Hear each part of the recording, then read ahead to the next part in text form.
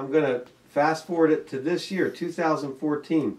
Although he's a New York Yankee, um, many, many players say that have played with him that Derek Jeter is not just a great player, but he's a gentleman.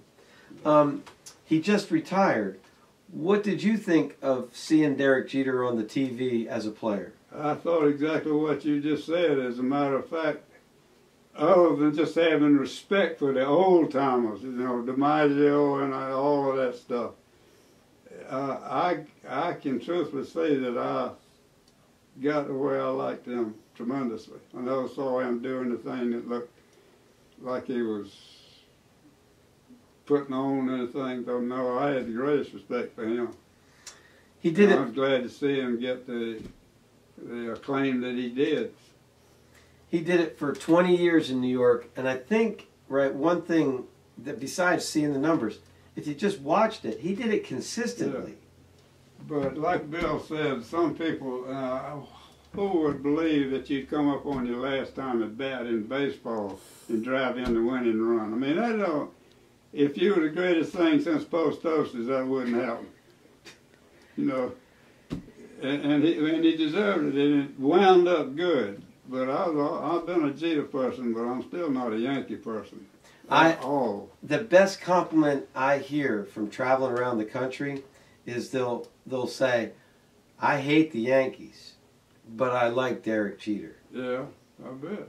It's uh, I wouldn't doubt that at all. it's it's quite a compliment. I I would say to you, uh, Bill, if you can, Donna, um, you were a pitcher in that generation, you know, and you were up in the big leagues basically a decade. So you were on the mound facing lots of guys, but not too many that got 3,400 hits. Mm. What do you think uh, of Derek Jeter? What stands out in your mind from all those players? Well, the way the press is today, I'm I I never I don't know Derek Jeter, but he's got to be a heck of a guy play in a big market like that and never have a blemish on his reputation or what he stood for or what he did. His actions were always good. You know, whatever he did. I mean, it was, hustle or just what or for fielding, whatever he did, he did it the right way and never got accused or you know, for palimony suits or lawsuits of any kind. He was always in the limelight doing good stuff. Um, uh, let me ask a question so I can have the people visualize. When you were in the big leagues, were you a left-hander or a right-hander? Right. So you're a right-hander. Derek Jeter's a right-hander. I know that you faced different guys that were in the Hall of Fame, and for the moment you said, "Well, this is what I'm going to do." If you were just visualizing, although you didn't face them, what in the world do you really think if you're putting yourself in that situation? What do you do when, as a big league pitcher, when Derek Jeter comes up to the box? What would you do? It depends on if he's leading off or or somebody was in scoring position. Right. Being a reliever, I'd have to think about you know how how I pitch because usually the winning run late in the ball game is on if he gets on base and I've got to pitch somebody differently. You know how, how many outs if I got an open base at first. Sure. A lot of things will come into play, but if he was leading off an inning, for instance, That's what I'm asking. I would probably go right at him and hopefully he hit a 380 foot fly ball or something. You know, I mean, When you say right at him, fastball inside? um, I mean, I don't know. I mean, I have to rely on my my bullpen coach's index cards to, to tell me what he's how what he's been hitting lately. I mean, you know, all that all that comes into play. He might be pulling off the ball this week. He might be going the other way next week. He might. I mean, the hitters change, so you have to change with them. So I don't know. I, I, it's hard to answer that question. What had in your time was there a hitter right um, that stands out? Uh, I guess that you faced uh, or were around. You were around Pete Rose for God's sakes. Um, that's a guy that got four thousand hits. Nobody could get him out, or nobody could get him out consistently. Who who was the greatest? Not home run hitter, but who was the greatest Mm. hitter that that that well, you I have. I'm sure there's a lot, but I mean, um, two stand out. Is one is uh, Craig Biggio. Right, you're right. Uh, He had he hit double after double after double off me. Right center, left center, right center. He was a gap hitter and he hit gap. He found the gap all the time with me.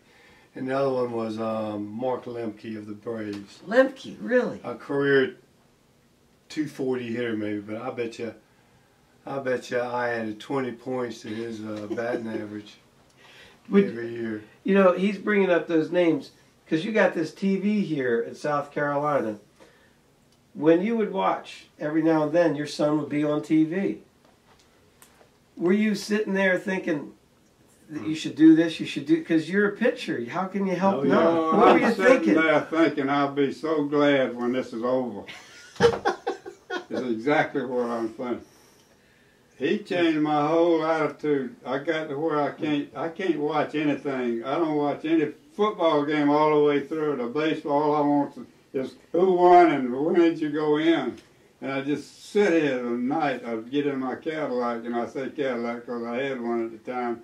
It, when he was in Pittsburgh, and I could get WKDK, that was the Sure. radio station. That is. And I could pull that car out in the middle of that field out there and turn the radio on and usually pick up Pittsburgh pretty good. And you just sit out there in the, in the first inning, the second inning, the third inning, then the fourth inning, the fifth inning. And then every now and then say, well, the bullpen. I said, all right, here we go. So, bullpen up. Yeah, guy hit a double, double play. Well, that's over. You sit back down. And it's sixth inning, seventh inning, and it's just torture. And waiting on the, for Bill either to go in or, or just don't get up tonight or something, do something rather than me sitting there. And I got where I can't, I just don't watch anything, any sport from beginning to end. That's the one of the few things I like about my television. They got all these shows to show everything all the time. You know, if I can just skip around and find out what the score is here, there, or what the final That's good. score, without having to go through the. When we'd go to Atlanta, and one Sunday we went down and Bill went in and we, we left that day, I believe. We had a fight. It was Sunday afternoon and the Cincinnati pitcher hit somebody. Bill Gullickson. Gully. And they wound up all out there in the field tackling each other and Bill wound up in the game. Know, and it, it's a long time you just you just sit there agonized. When he was in the game as his father, would you be on pins and needles? Absolutely. I didn't would rather not even go. When he played little league ball, I used to go, his mother would go. His mother raised his children. Uh-huh. And I would go and, and watch him. You didn't want to be a distraction Uh, to him. no, no, I didn't want. I wasn't. I, I, I didn't want to get be distracted myself. I, it just drives me nuts. I mean, I can't. It's one thing of doing it yourself, and then but then having to watch somebody do it uh, that, that you want to do well.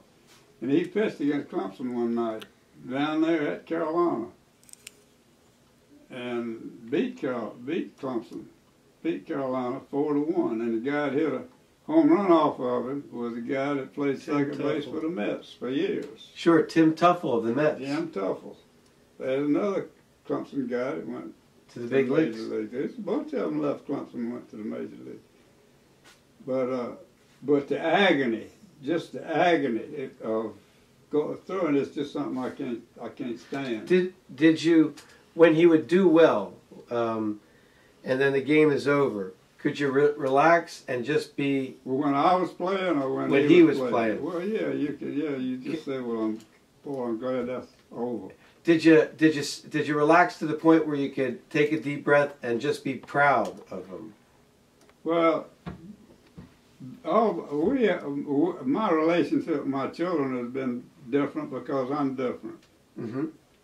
and I wasn't brought up in a huggy, snuggy, kissy, holy I understand. type environment. I didn't know anything about that. Sure. And I could get on these kids and be the nastiest SOB you ever saw, and then go in there and sit on that sofa in our living room all night, wondering why I had to be that way. Mm-hmm. So we were, we were never we, we were never in all the time. You know, you see the daddies and the kids hanging around, and I get was it. not me. I Um, just even though- that, that didn't mean that I didn't care, but I I just it. didn't know what how to do it. I didn't know what to do. You were making a living as a father, making money to pay Well, I bills. That's what I thought you're supposed to do. And I used to tell them if you're looking if you're looking for something, to go talk to your mama because she's good with children. She's good with people. Sure. It's a sign of the times. I was raised by my grandparents, Yeah, and my grandmother was born in 1910. yeah. My grandfather was born in 1899. So when you talk, I hear. Um, I go sometimes when you're talking, I go back to my childhood, Yeah. and I hear my grandmother and grandfather talking. Yeah. Your answers aren't just you. Your answers are a sign of the times. That's the way things were. Well, you're a product of it's it's either environment or what's the other word? Uh, your DNA. yeah. Yep. But uh, and, and uh, Rosemary is just one of those people. She's just open and gets along with everybody. Knows what to say or gets by with it when she don't know what to say. Well, I'll tell you what. It's a combination that worked. You like to think some of it was all right.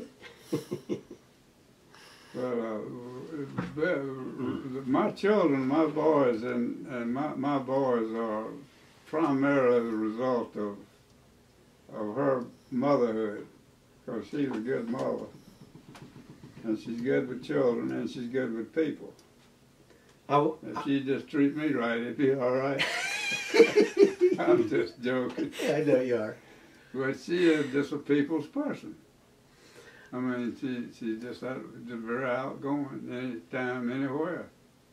Well, it's. Uh, I'll tell you what. It's a testament to the Landrum name and the Landrum household.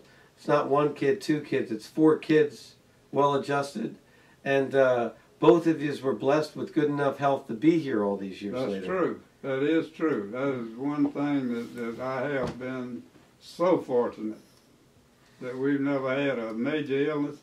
And anytime you pick up the TV anymore or read a paper, Yeah. there's just something tragic happened. Uh, we have it here in Columbia, just like you've got it in your in your hometown. There's somebody riding down the road with three children, all three of them dead. Right. know, I know. we we haven't we haven't had any of that. It's been absolutely lucky.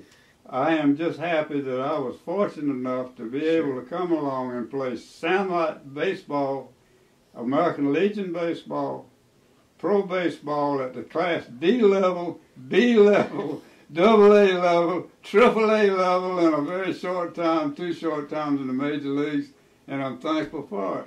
I've just been been fortunate. But as far as telling you my favorite moment, I I don't believe you can do that. It's a good answer. I just don't believe that you can pick out one thing in your life as absolutely your favorite play or your favorite game or any of that.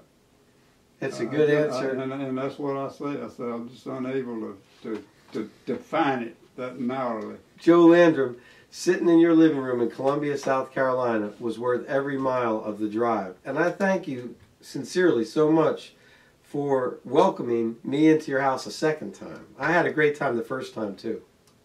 Well, I appreciate you coming by. I really do, and I've enjoyed what we've done. But it may be another long, no, it won't be a long time, but it.